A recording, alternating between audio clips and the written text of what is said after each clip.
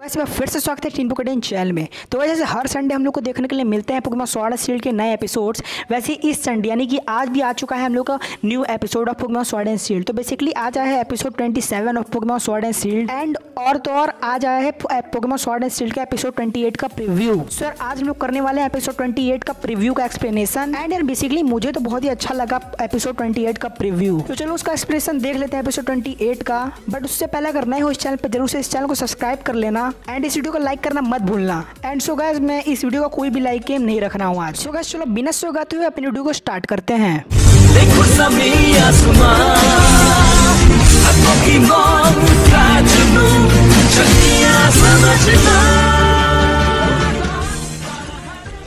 बस वीडियो के स्टार्टिंग में हम लोग को दिखाया जाता है गो को, जो कि एक सॉबल को देख रहा होता है, वो बहुत ही शॉकिंग वे में। है तो लोग जानती हो कि सॉबल कितना सेंसिटिव होता है एंड उसको गो को भी देख के सॉबल शॉक हो गया होता है और रो रहा होता है। एंड देन गैस हम लोग को उस स्क्रीन पे ले जाया जाता है, जहाँ पे जो होता है, हम लोग को सॉबल बहुत ही तेज तेज रो रहा होता है। And Ash and Goh and दोनों के पोकेमॉस सारे सोबल को देख रहे होते हैं। एंड देन ये सब चल रहा होता है। एंड देन पता नहीं गाइस क्यों एस एंड गो दोनों को रोना आ जाता है, वैसे वो बहुत ही फनी वे में रो रहे होते हैं। एंड फिर हम लोग को पता चल जाता है कि एस एंड गो क्यों रो रहे होते हैं। एस एंड गो इसलिए रो रहे होते हैं कि जैसे तुम लोग स्क्रीन पे देख सकते हो, उनका खाना चोरी हो गया होता है। एंड वहाँ पे वहाँ पे बैठ के आराम से एक पोकेमॉन उनका सारा खाना खा रहा होता है। एंड देन तुम देख सकते हो अपने स्क्रीन पे कौन सा पोकेमॉन सारा खाना उनका खा रहा होता है। अगर तुम इस, तुमको इस पोकेमॉन का नाम मालूम है तो तुम ज़रूर से बता दो कमेंट सेक्शन में। एंड देन लोग सडनली उस कैमरा पे ले जाया जाता है जहाँ पे टीम रॉकेट होती है। एंड टीम रॉकेट भी रो रही होती है एंड बहुत ही अजीब बिहेवियर कर रही होती है। सोबल को कैद करने के बाद सोबल को छीनने के बाद, यानी कि सोबल को चुराने के बाद। जैसे कि तुम लोग को पता ही है टीम रॉकेट कुछ काम ही नहीं है पोकेमॉन चुराने के अलावा। एंड देन हम लोग को दिखाया जाता है कि जो हम लोग का गो होता है,